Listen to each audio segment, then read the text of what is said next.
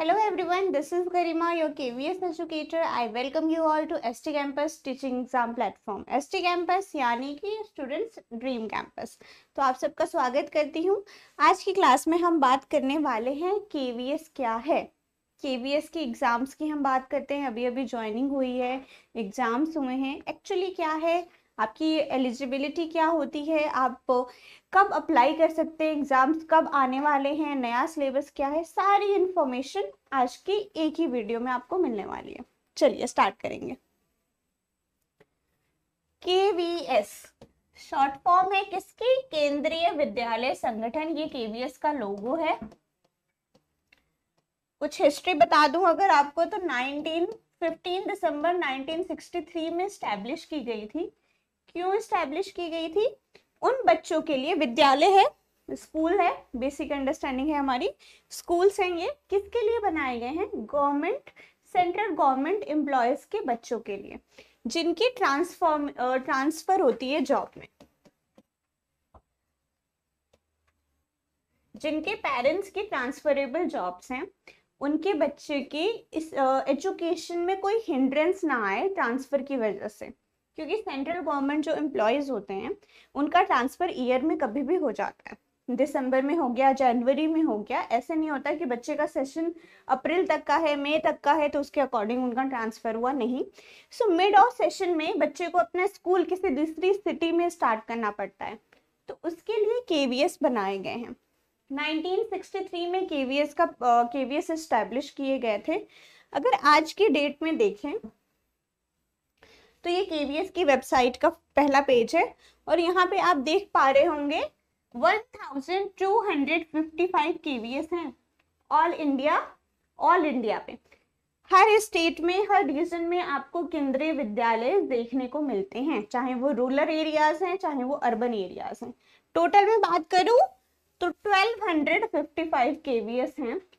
Students देखिए कितने 25 regions India में 25 रीजन्स में केवीएस हैं।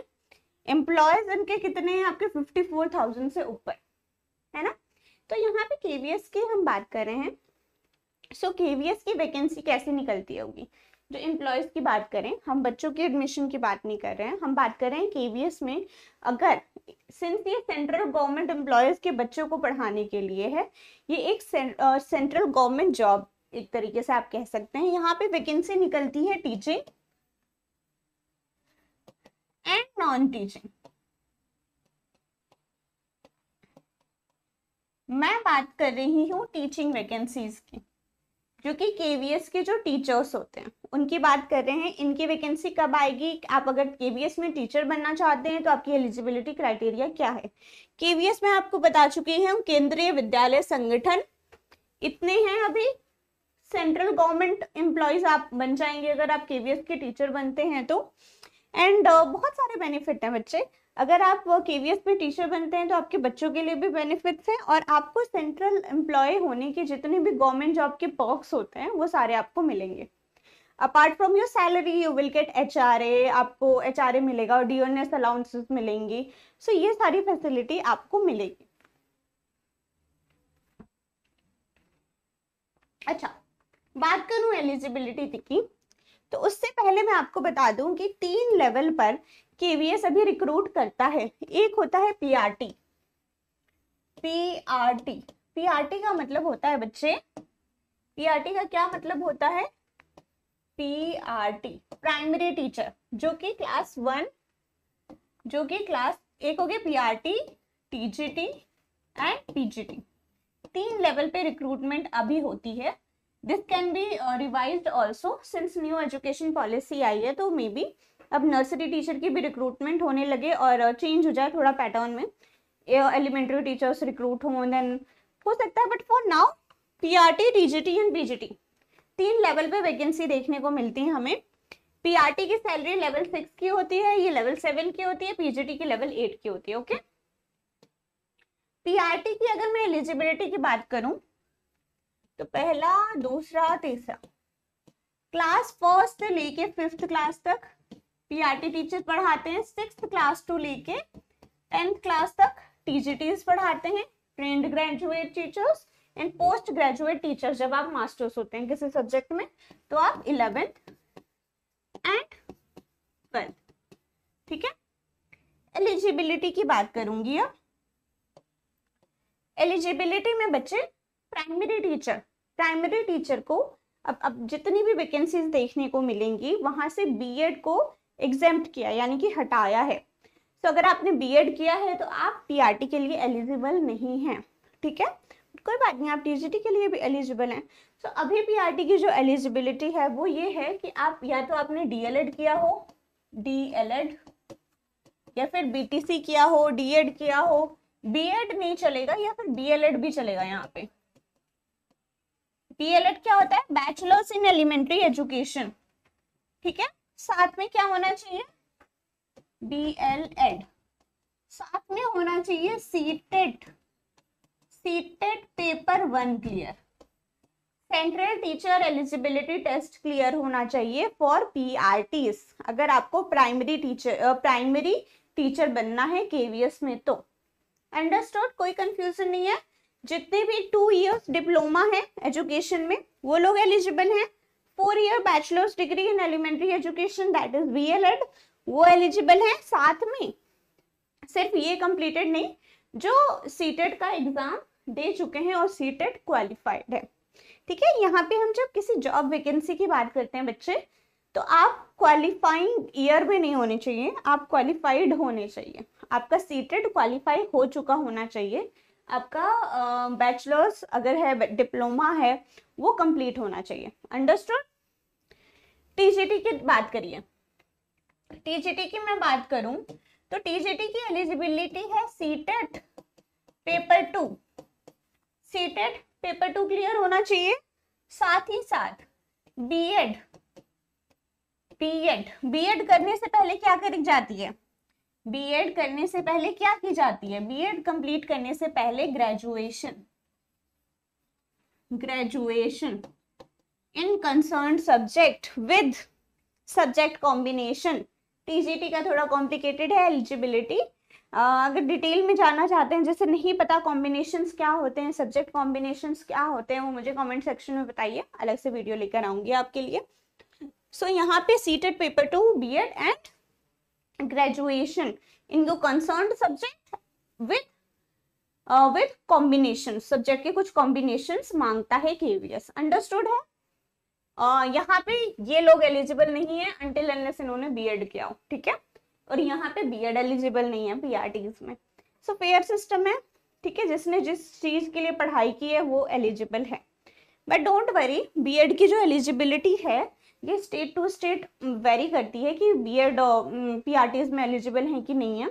अभी पीआरटी का भी एग्ज़ाम अभी सॉरी अभी डी ट्रिपल एस पी का भी एग्ज़ाम आने वाला है 2024 में वी आर एक्सपेक्टिंग वैकेंसीज तब की नोटिफिकेशन से पता चलेगा कि बी एड एलिजिबल करे जा रहे हैं या नहीं किए जा रहे हैं। So state to state vary करता है। ऐसा हमें, ऐसा नहीं है कि मतलब सुप्रीम कोर्ट ने वर्डिक दे दिया कि बी एड एलिजिबल नहीं किया जाएगा फॉर पी तो हर किसी के लिए नहीं है।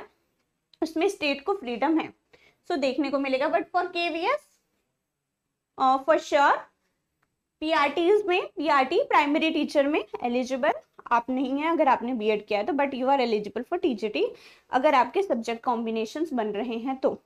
बात करते हैं पीजीटी की। पीजीटी की एलिजिबिलिटी की मैं बात करूँ।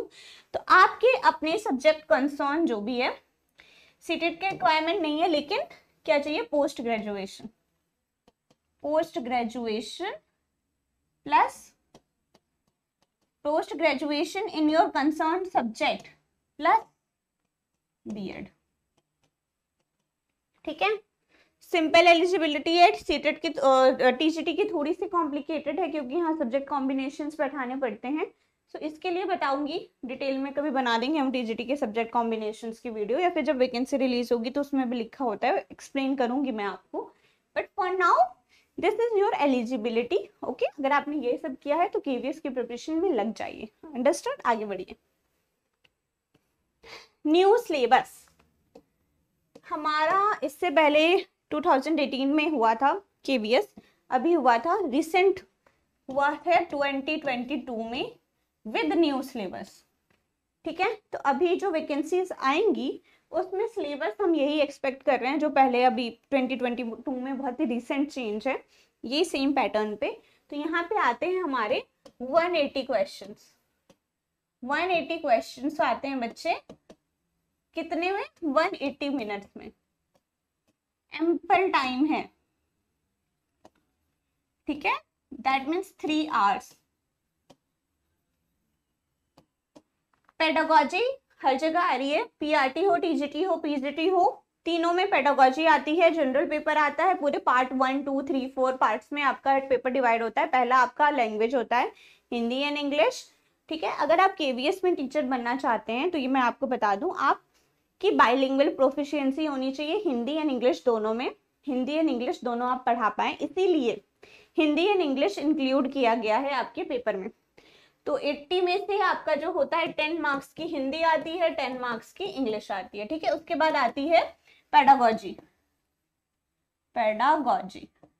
ठीक है, अब ये पेडागोजी वेरी करती है। अगर मैं पीआरटी की बात करूँ तो साठ नंबर की आती है। अगर टीजीटी पीजीटी की बात करूँ तो चालीस नंबर की आती है। सब्जेक्ट कंसर्न उसके बाद एक पार्ट होता है subject concern again subject concern जो है हमारा टीजीटी पीजीटी लेवल पे हंड्रेड मार्क्स की आती है। और पीआरटी लेवल पे 80 नंबर की आती है। टोटल इन टोटल 180 क्वेश्चंस ही देखने को मिलते हैं ठीक है? चाहे टीजीटी हो चाहे पीआरटी हो चाहे पीजीटी हो अंडरस्टूड कॉमन है हिंदी इंग्लिश कॉमन है करंट अफेयर्स कॉमन है दस दस नंबर की वेटेज आईसीटी दस नंबर की वेटेज रखता है पेडागोजी की वेटेज सिक्सटी है। आपकी uh, कहाँ पे?